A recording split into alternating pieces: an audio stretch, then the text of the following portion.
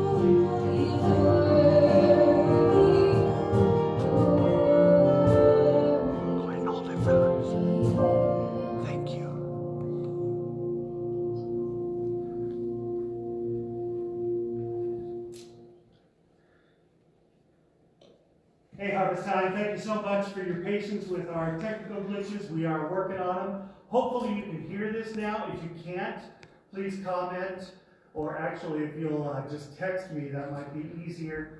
I think we're live, and I think we've got sound, but if I'm wrong, please someone let me know. Uh, at this time, we're going to have uh, Josh come and share uh, kids' stories, so we'll do a little transition here.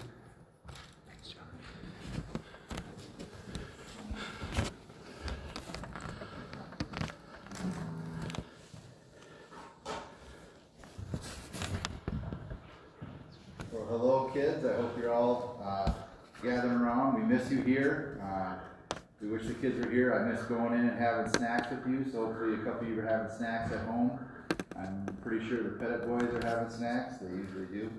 Um, but we miss you here. Uh, but I want to share a couple stories with you guys. Um, just uh, a couple, four real quick stories. Uh, if you were in Sunday school a couple weeks ago, you already heard a little bit about this that we talked about it uh, in the group but this is for kids and also uh, parents too. You, you should pay attention.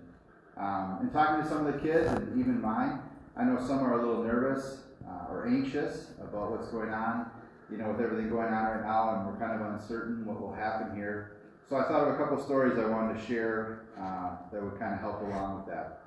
Uh, the first one is about Shadrach, Meshach, and Abednego. Uh, the king Nebuchadnezzar wanted everyone to bow down to an idol that he had made. Um, if you didn't, you'd be thrown into a fire. Uh, those three guys, Shadrach, Meshach, and Abednego, they didn't want to do it. The king heard about it, and he actually turned, uh, heat up the fire seven times more uh, than what it was before because he was so angry that they wouldn't do it.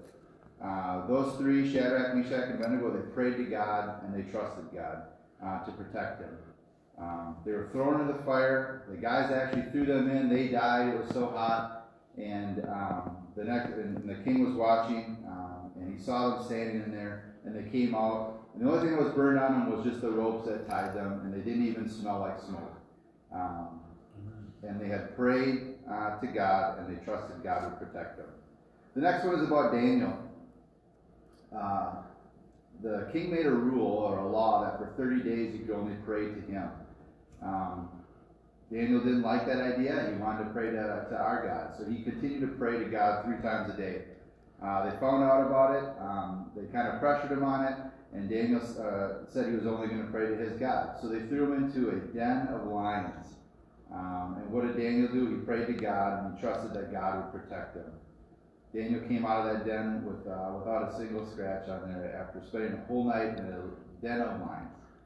Uh, the third story I want to talk about is Jonah. Uh, God wanted Jonah to go somewhere he didn't want to go. Um, and Jonah tried to run away. Uh, he ended up getting on a boat and trying to escape God's plan and get away from God. A uh, big storm hit. Uh, the boat was bouncing all over in the waves, and uh, and the people on the boat found out it was because of Jonah. So they actually threw Jonah overboard. Uh, God sent a fish to come and swallow him. So it had to be a pretty big fish. I know Pastor Randy fishes. I don't know if he's ever caught a fish big enough to oh, yeah. swallow a person. Oh, uh, but Jonah spent three days and three nights uh, in the belly of a fish. And what did Jonah do? Uh, he prayed. He prayed to God that he would protect them, that he'd get them through this and get them out safely. Um, and uh, he knew that God would, would protect him. Um, after three days and three nights of being in there, uh, the fish was conducted by God to go to shore and spit him out, and he ended up just fine. Mm-hmm. The, uh, the, the, other story I want to talk about is this thing that we call coronavirus. Mm-hmm. Uh, it shut down schools and work. It made many people sick.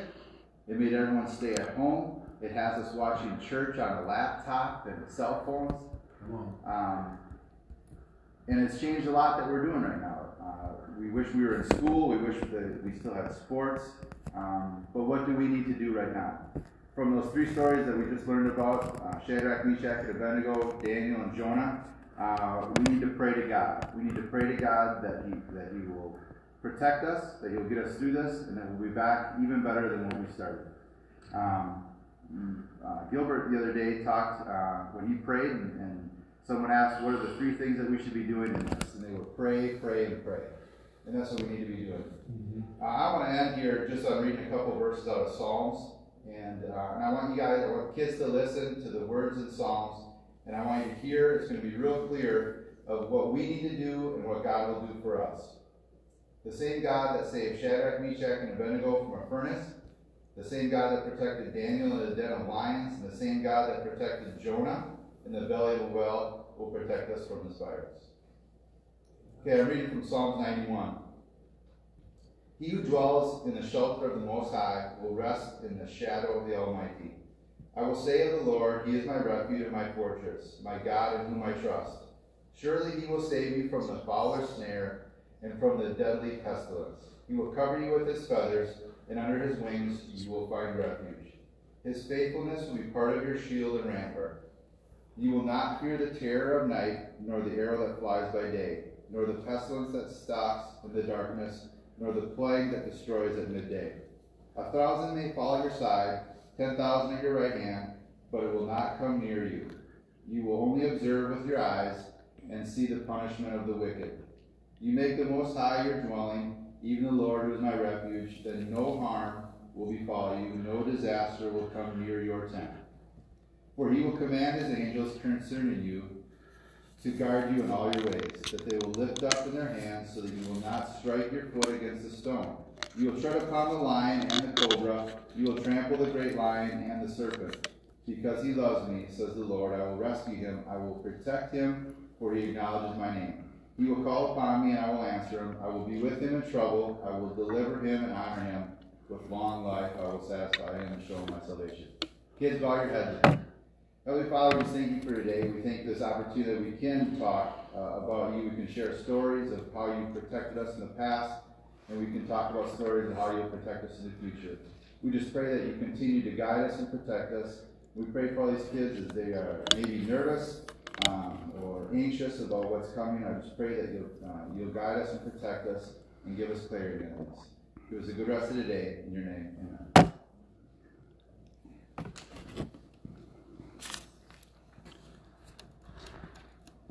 Amen. What a great message, Josh. What a great message for the kids and for us adults. What about Shadrach, Meshach, and Abednego?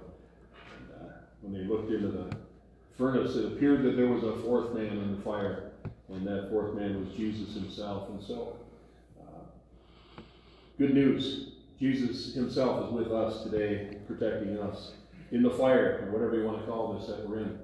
So we're in a series at Harvestime called What Matters Most, and the first week we we talked about um, character and how character really matters and the kind of character that we have. Uh, we want to have godly character. We want to have a character that causes us to look more like Jesus.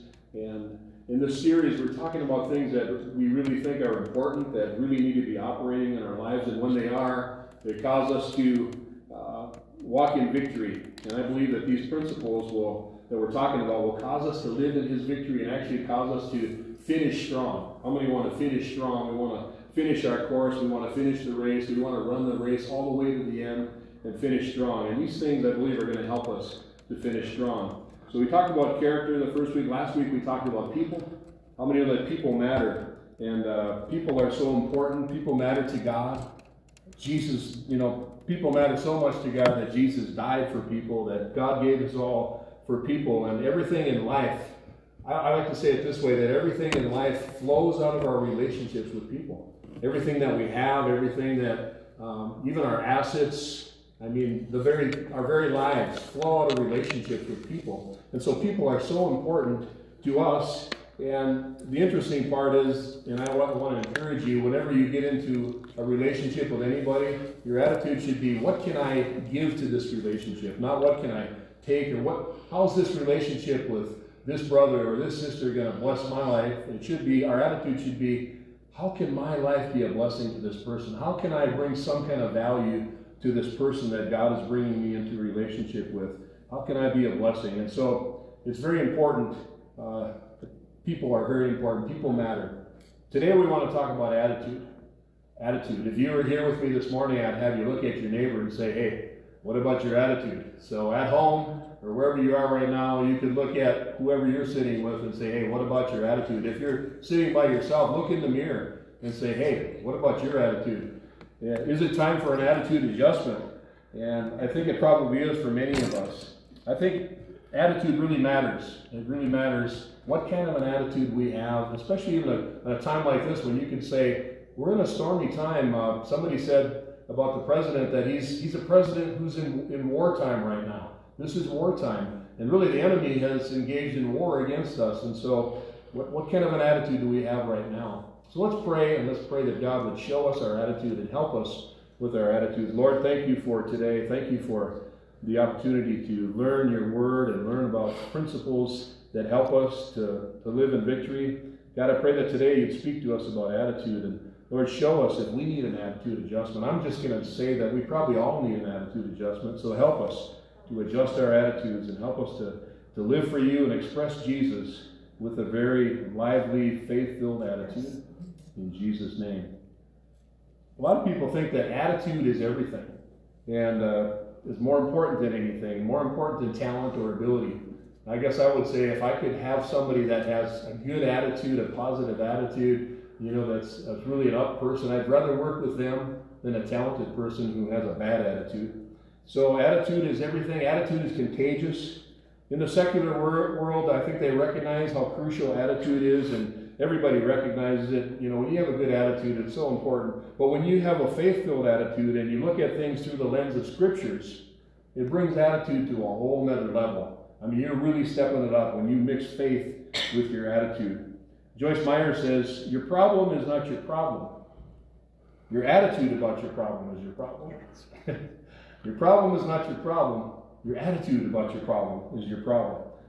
I really believe that. Philippians 2 5 says, Let this mind or let this attitude be in you that was in Christ Jesus. The attitude that Jesus had. Jesus didn't get a bad attitude about anything or anybody.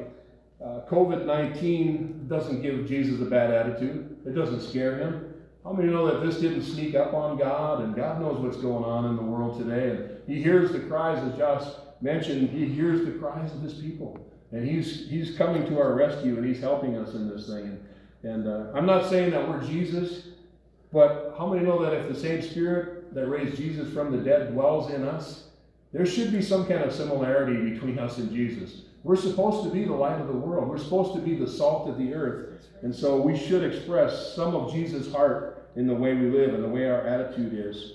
So our attitude needs to come from our relationship with Jesus. It needs to flow out of our relationship with Jesus. That's where a good attitude really comes from. Jesus said, out of the abundance of the heart, the mouth speaks. Out of the abundance of the heart, what you've got on the inside eventually finds its way to the outside. So your attitude is really a reflection of the inner workings of your heart. That's really what attitude is. If you got a bad attitude, you got something bad going on in your heart, and you're not really, uh, you know, receiving enough Jesus, enough Word of God, enough faith to change your outer look. You know, your your attitude will really be an, ex- an expression uh, of joy, of peace. Of, you know, somebody that's got a good attitude, man, you just like to be around them because they look good. The Bible says that it's, you know, when we have faith, when we know God, it's like a garland around our neck. It makes us look better. It makes us, you know, we look more approachable because of Jesus. And it really should be going on in our lives. And we don't have to operate, when we don't operate out of love, I should say, and we get a bad attitude about people, we're acting like we don't know God. Because how many know in First John the Bible says, you know, God is love. And to those that know God, and, you know, are born of God, they know God. When we're born of God, we know God. God is love. And he that does not love does not know God, the Bible says. So when, when we don't act in a positive attitude, a good attitude toward people, we're acting like we don't know God. It's serious. When I was growing up, uh, my parents had a cabin up in northern Minnesota. We spent a lot of weekends in the summer up there. And uh, whenever it was really windy, my dad would want to go sailing. We had a small sailboat, and it wouldn't be just a nice breeze, like an eight mile an hour wind. It would be like when the whitecaps were this high and the wind was just howling. My dad would say, Come on, Randy, let's go sailing. And I was about, I think I was about 10 or 12 years old when we used to do quite a bit of this, and when I got introduced to it. And I remember a couple times, just the windiest days ever. Dad says, Let's go sailing. And we jump on the sailboat, and he sets the sail out, and basically, when the wind is at your back, And it was, and we'd go right down the lake. He'd put the sail all the way out, and we'd just sit back, and that sailboat would just cruise. And, and we made it four miles down the lake in record time. I don't know how fast, how long it took us, but we were at the end of the lake in no time. And, and we turned into the wind, and my thought is, Dad, how are we going to get back? This is not going to be good. And the wind is coming right in our face. And he said, Well, he started explaining to me about tacking. And, you know, for a 10 year old or 12 year old boy, tacking seems like a long process because he said we're going to have to kind of face the wind and let the sail, you know, fill with wind, but not too much to where you're going right into the wind. You got to be a little bit at an angle, and then the sail hits the wind and it propels you forward at kind of an angle. So what you do is you go down this way, you turn, go down this way. So you, you, you tack back and forth all the way up the lake. And I thought, man, this is going to take us all day. Guess what? It did take us all day. And so it was a long, a long journey. But let me let me share with you a couple of things that I've learned about sailing then and, and really over the years. The, the number one thing I'd say about sailing is the wind is your friend. The wind is your friend. Without any wind, you're not moving. Without any wind, you're dead in the water. And you could you could say without any wind in your life right now, you don't grow.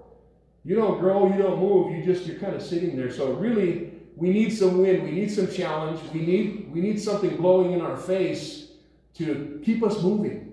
And so the wind is your friend. Number two, facing the wind is exhilarating.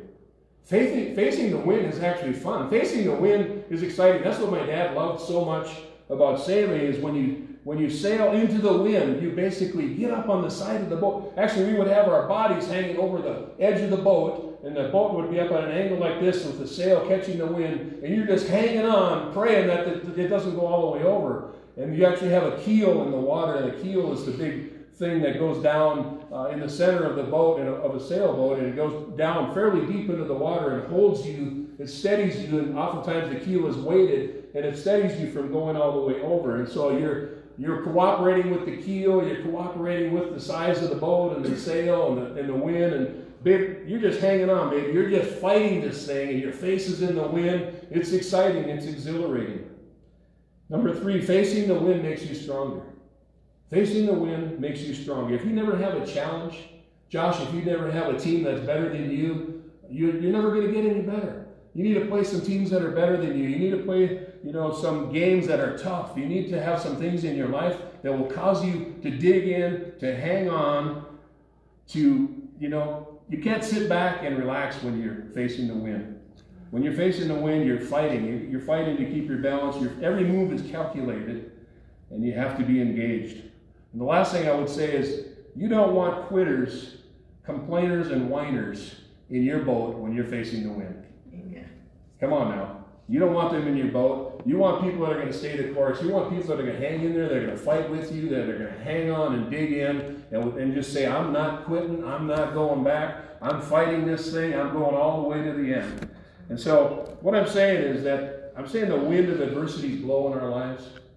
Sometimes we have things, we have struggles, we have challenges, we go through stuff, but with an attitude of faith in what God can do and what He's doing, you can remain strong and unafraid in the midst of a strong, even a strong wind. When your perspective is, look at my God. Look at how big my God is. My God is the king of the universe. My God is the creator of all things. My God is so awesome. There's nothing. We read the stories with Josh this morning. There's nothing he can't do. He can pull you from a fire. He can he can pull he can create a, a fish big enough to swallow you and, and save you from it. I mean, he can do anything. And that has to be our perspective when we're facing the winds in life, the adversity that, that life can bring. He's the king of the universe. In him, you'll be fine. I was reading this week about the children of Israel, and I'm sure you've, you've read in, in Exodus the story about them coming out of Egypt, and, and they get to the Red Sea, and God opens up the Red Sea for them, and, and they cross on dry, on dry land, and, and Pharaoh and his army are swallowed up in the Red Sea. And all these miracles are happening, and right after they get out of there, and not, not long afterwards, they start to complain, they get an attitude, and they start complaining to Moses, Moses about being thirsty. It's right after Miriam teaches them a song about how the horse and the rider has been swallowed by the sea, and, and uh, God has brought them victory, and they start complaining about being thirsty. No water to drink. In Exodus 15 24, you can read about that. And not longer after that, you know, God pulls water out of a rock. I mean, come on. Moses touches his staff on the rock, and God causes water to come forth from a rock. Not long after that, they complained about having no food, and they told Moses that they should have died by their pots of meat and stuffing themselves with bread in Egypt. Can you imagine? It sounds like, you know, we'd have, we'd have rather died from overeating than to be out here now. That's the kind of complaining that they were doing. They accused Moses of bringing them out into the wilderness to die, to perish, to starve to death. In Exodus 16, you can read about that. After that, God rains down quail and bread, manna, from heaven. And, you know, enough for them to eat every day, and they could they could do it six days a week, and they could they could take a little more on the seventh day for the seventh day, and God just provided everything for them. All they had to do was go out and pick it up and eat it. Of course, in a short time, they complained about that. It's kind of blah, it doesn't taste that good, and eh. Uh, we'd, we'd rather be eating our onions and our garlic and stuff. And so you could ask, how, how, how could they experience such victory and provision from the Lord and still wind up whining and complaining soon afterwards? Isn't that a good question? Isn't it true for us as well? We have so much. God has blessed us with so much, so richly, and yet we complain so quickly. Wouldn't you like to ask the children of Israel some questions? I know I would. I'd like to ask them, what were you thinking? Sometimes don't you want to ask people that same question today? What were you thinking? Are you kidding me? Didn't God just bring you out of the Red Sea? How could you forget that so fast? I'd like to ask him too, didn't God just rain down meat from heaven? Man, I'm telling you, I wish he'd rain down some meat from heaven today. That would be great. Didn't he just rain down bread for you? Surely you know that he's with you. Didn't he cause water to come from a rock? Do you think he can get you water anywhere? If God can cause water to come from a rock, don't you think he can get you water anywhere? Let me ask you a couple questions today. Hasn't God always provided for you? Isn't he big enough to take care of you? Didn't Jesus say his eye is on the sparrow and that he cares for you? He said, Why do you worry about your life? Why do you worry, why do you worry about what you're going to eat, what you're going to wear? Doesn't God provide? Doesn't he, he clothe the lilies of the valley? Doesn't he provide for, you know, a covering for the birds? Don't you think he's going to take care of you? Doesn't he even know the number of hairs on your head? I'm talking, that's intimate. He knows you intimately. He just doesn't know about you.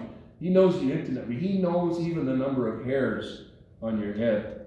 Didn't he hang? Isn't this the same God that hung the stars in the sky? Isn't he the creator of the whole universe?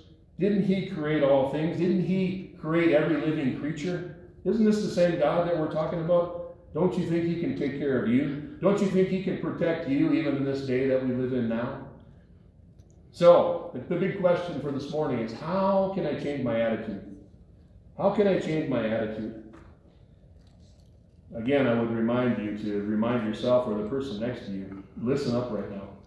Listen up right now. You need to change your attitude. It starts with number one, changing your meditation. What are you meditating on? Is it God's Word? Uh, is it the greatness and the wonder of God that you're meditating on? Or are you meditating on your problems? Are you meditating how big the coronavirus is? Are you meditating on how big all your other problems are right now? And if you are, you need to start meditating on the Word of God. I want to share with you a, a few scriptures. Uh, the first one from Psalm 119, just some meditation scriptures. Psalm 119, 15 and 16. I will meditate on your precepts, precepts and contemplate your ways. I will delight myself in your statutes. I will not forget your word. I will not forget your word. So we need to meditate on his ways, on his word, on his statutes. Psalm 104, 34, my, may my meditation be sweet to him. I will be glad in the Lord. In the Old King James, it says, my meditation of him shall be sweet. I will be glad in the Lord. Psalm 143, 5, I remember the days of old and meditate on all your works. I muse on the work of your hands. In other words, I really just, I just lay there and think about the work of your hands, what you've done, how you provided, what you've done in the past, what you're doing in the world, how you created everything. I just muse on it. I just, I chew on it. I sit on it. I think about it. Psalm 39, 3 and 4. My heart, this is a great one. My heart was hot within me while I was musing, the fire burned. Come on. My heart was hot within me While I was musing, the fire burned. Then I spoke with my tongue. Lord, make me to know my end and what is the measure of my days, that I may know how frail I am.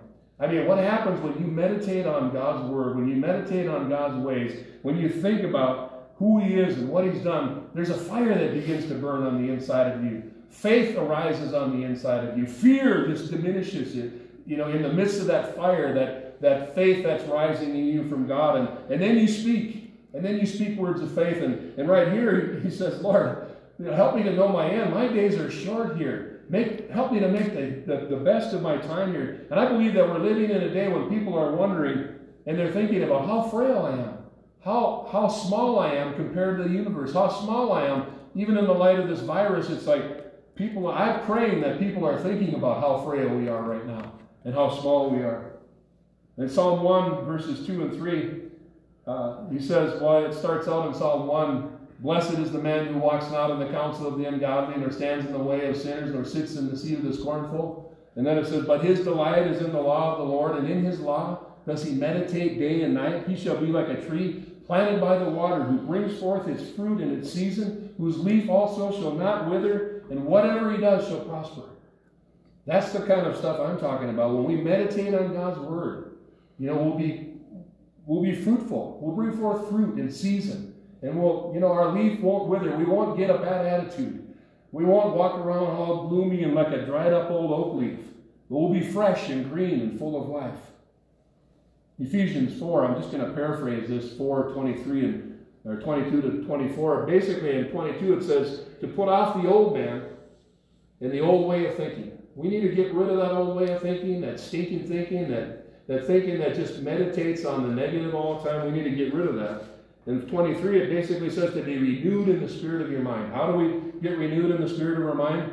We get this word in on the inside of us. Jeremiah says, I, I picked up your word, I ate your word, and they were a joy and they were life to me. And so we need to eat the Word of God, meditate, chew on it. And verse 24 in Ephesians 4 says, Put on the new man that was created by God in true righteousness and holiness. So we have to get rid of the old man, you know, reprogram by thinking God's thoughts, put on that new man. Put on that new man created by God in true righteousness and holiness. Amen. So, number one, Start, it starts with our meditation. What are you meditating on? Are you meditating on God's Word? Number two, embrace the wind. Embrace the wind. Any sailors in here? Any sailors in your house this morning? Are you a sailor? You love the wind. Embrace the wind. Realize that God is at work in this struggle and that He'll never leave you or nor forsake, nor forsake you. He's making you stronger. He'll see you through. This is not the end. As a matter of fact, I would say that, you know, this virus thing, this is not the end. This is not the way it ends, folks. This, it's not over. This is something that we're going to get through by faith. We're going to get through and we're going to be victorious. And it's not over. It may, you know, it may be a tip of the iceberg. We're getting closer to that day when we believe that the Lord is going to appear and, and, uh, and you know, come back. But this is not it, I don't believe. But it's a sign, it's a warning to get your ticket. Get right with God. You know, I like to say, you know, if you're going to fly somewhere, you better have your ticket in advance. Yeah. Buy your ticket. Today would be a good day to get your ticket for heaven. And it just is so easy, just receiving Jesus, the work that he did on the cross, the forgiveness that he provided for you. Get your ticket today. Get on board, get ready to fly.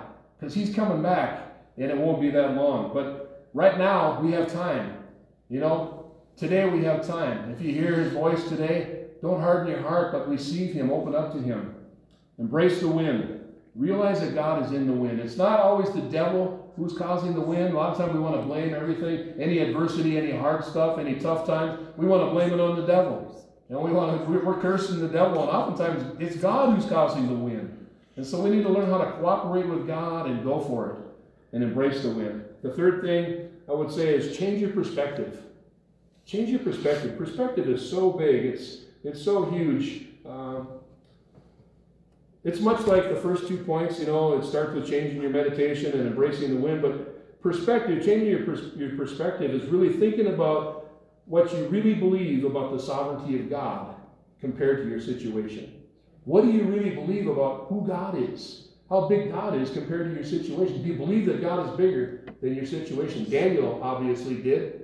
You know, he knew that God was bigger, and he said, you know, go ahead and put me in the fire. It doesn't matter. Because if God, God doesn't get me out of this fire, I'll be with him. He's greater than the fire. A fire doesn't stop God, nothing stops God. And so, compared to your situation, you got to look at the sovereignty of God. I mean, He's unending. He knows no bounds. He, he's, he was in the beginning, He's in the end. He was before the beginning, and He's all the way through, man. He is God. And so, put yourself in that place. What I believe that my God is bigger. That's what I really believe. My God is bigger. My God is stronger. My God is able. He always wins. How many have ever known have ever known God to fail? God always wins. What I believe is I always win in Him. We can be winners in Jesus. I want to just share a little story about uh, what happened to me some years ago. I went to uh, um, what was the prom- yeah Promise Keepers, the big men's uh, kind of revival that they were having around the country and big arenas, a lot of men showing up at these things. And I went with a couple friends one time and we sat way up high. And we didn't like our seats. It was in the old Metrodome in Minneapolis, and it was hard to hear up there. And, and we were looking down for a closer spot, and we spotted a place way down in the front. And uh, we thought, oh, look at there's some open chairs down there. Let's go down there. So we, we work our way down to the front. We get down close, and we see it's it's for the handicapped people. And so I look at my one my one friend, and he starts going like this, and I'm thinking, nah, this doesn't look good. and so we get up there and and we sit down, and he kind of limped in there. It was kind of funny, but when we sat down, the Lord convicted us so bad because we saw these handicapped people, and some of them, you know, some of them didn't have any legs, some of them didn't have arms, or you know, some of them were quadriplegics, paraplegics, all kinds of handicapped people. Some were, were blind, other and other things, and and yet, if if they could raise up a hand, they had a hand up like this, praising God. If they couldn't raise up the hand, they had their chin up, praising God. And it was like we were so convicted because we were so healthy, and we we kind of felt like we were sneaking into their zone here. But you know, your perspective changes a little bit when you see, when you recognize how good you have it, how much you have to be thankful for, and how much you have to be grateful for. And I looked at those guys and I thought, wow, look at them. They're praising God in the midst of their in their struggle, in the midst of their shortcomings. They're really giving him glory. And I think they gave him more glory than we did and with our best praise. And so change your perspective. What's really happening? How big is your God? Number four, spend time, and this is this one is so big. Spend time in praise and thanksgiving. When you do, you'll develop an attitude of gratitude. When you begin to just thank God, and just like I was reading those Psalms earlier, when you find yourselves in the Psalms and just singing to God and praying to God, strength arises on the inside of you. You'll automatically begin to soar above your circumstances when you spend time in thanksgiving and praise. Giving thanks and praise to God is it's not just positive thinking. You know, so many people think, oh, that's just positive confession, positive thinking. No, it's it's really a statement of faith that arises from the inside of you that comes out of your mouth, and you're declaring who God is, and you're you're thanking Him for who He is, and all of a sudden faith arises. How many know that God actually uh, he comes down and, and he kind of finds himself in that atmosphere. He, he inhabits, the Bible says, the praises of Israel. He'll come right into the room and you'll find yourself just enveloped in the, in the witness of God and the witness of the Spirit. And you'll find that his presence is there when you begin to praise him and thank him, even in the hard times. I would say, even in the hard times, you got to praise him more. You got to thank him more. And I'm telling you that faith will arise and faith will cause you to overcome. Faith will cause you to just stand up and just make a declaration. I don't care what happens. My God is on the throne. I don't care what's going on around me. I win in Jesus. I don't care who you are what you're doing. I'm going to praise Him. I'm going to thank Him. And guess what? You're victorious in that. And faith arises. God comes into that atmosphere. Go ahead and test me on this one. Just go ahead and praise Him on your roughest day and see if He doesn't come right into your room, right into your car, right into your house, right into your atmosphere and just fill up the room. And that's what he does. He specializes in our weakness. He's strong in our weakness. And the way he's strong in our weakness is when we give him glory, when we give him praise, and we shout his name, we declare him, we call on him in our, in our hardest times. And so spend more time in praise and thanksgiving. Really, you know, the Bible says that praise looks good on you. Some of you could use some of that good looking stuff. You know what I'm saying? Praise looks good on you. It'll cause your smile to be brighter. It'll cause you to just, you know, just be a happier person. I'm trying to smile right now, but I'm not a very good smiler. My family actually makes fun of you, uh, fun of me when I try to smile for a picture. Come on, Mel. Does your family make fun of you when you smile? No, I'm good looking. You're good looking. So, so I, I try to smile for a picture and I, I go like this. And I, I try to show my teeth. And I'm like, it doesn't look natural for me. I'm not a very good smiler. So they say, just smile natural. So I go, okay. I don't know how to smile. But I'm telling you, when you're full of praise, you'll be prettier. People will be attracted to you. You'll be better looking. It looks good on you. I'm telling you, praise looks good on you. You ought to start that today because it'll help you. Amen. It also helps you to look good on the inside. And re- remember, our attitude is a reflection of what's on the inside, and it comes out when we praise. So, let me just close with this a couple final thoughts. One thing is, if your situation, I guess this would be the fifth point, if your situation seems like an all out attack from the enemy, then speak to it in Jesus' name. You know, sometimes we just have to be sharp enough, and really, God will give us the discernment to know if this is from the enemy or if this is from God. But if it's from the enemy, and you realize that this is the devil is after me and the devil's out to get me, he's doing something here, then you just have to do like Jesus and say, Peace, be still. Shut up and get out. Take authority over that situation in Jesus' name. I come against you. In the name of Jesus, I command you to leave. I command you to stop. In the name of Jesus, I plead the blood of Jesus over my life and my home, my family. And in Jesus' name, I break every curse. I break everything that you come against me with. In Jesus' name, my God is more powerful. And thank you, God, for the victory. And so that's what we have to do uh, if we feel like it's from the enemy. And sometimes it is.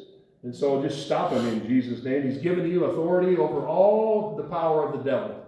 So nothing can by any means stop you or hurt you in Jesus' name. I want to pray with you. I want to pray for you today. Let's pray about our attitudes. Let's just take a moment right now and, and just maybe a moment of silence and just say, God, what about my attitude? What about my attitude?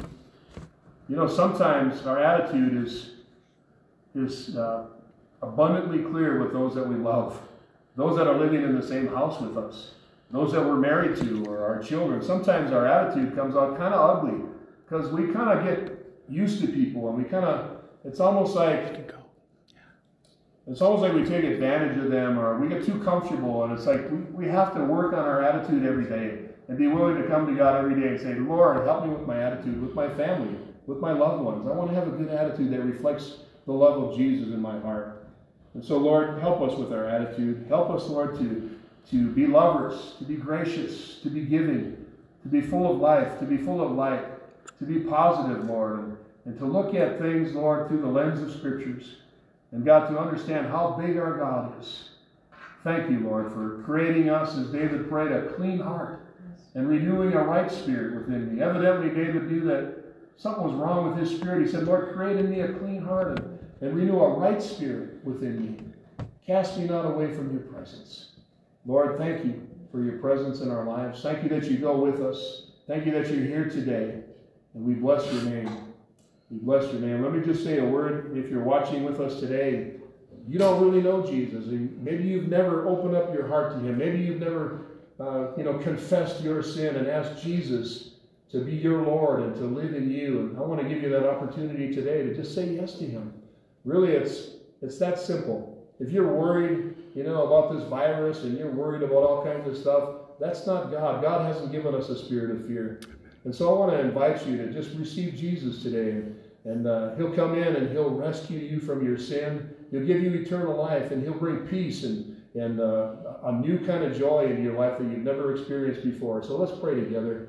Lord, if that's you, just pray with me right there in your home, wherever you are. Lord Jesus, thank you today for forgiving me. Thank you for washing me. Thank you for cleansing me. Thank you, God, for giving me hope. Lord, I, I just want to put my trust in you today. I want to receive Jesus in my heart. Lord, I want to live for you. I believe that you died on the cross for me. Lord, would you come and live in me? And I thank you for that. Lord, help me to live as a believer. Help me to live as a Christian. Help me to find my, my way in your word and studying your word. Lord, thank you for saving me. Thank you for rescuing me. In Jesus' name. Amen. God bless you. I pray that uh, this helps you today with your attitude, and we will see you again. Our, our worship team is going to close with a song right now. Um, no longer slaves. Go, Sarah.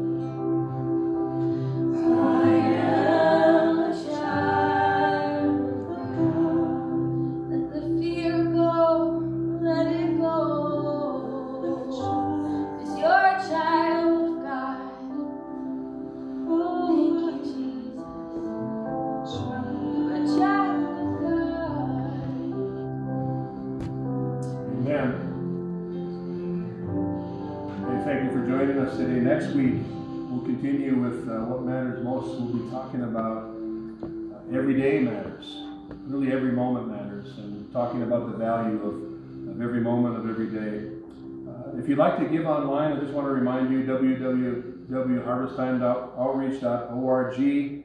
Click on the giving, and that'll it'll walk you through it. Or if you'd like to text to give, 715 600 5329. Uh, Thank you for joining us today. We hope you have a great week. Hopefully, we can get together soon. Keep praying, uh, keep seeking Him, and keep a great attitude. Amen. God bless you.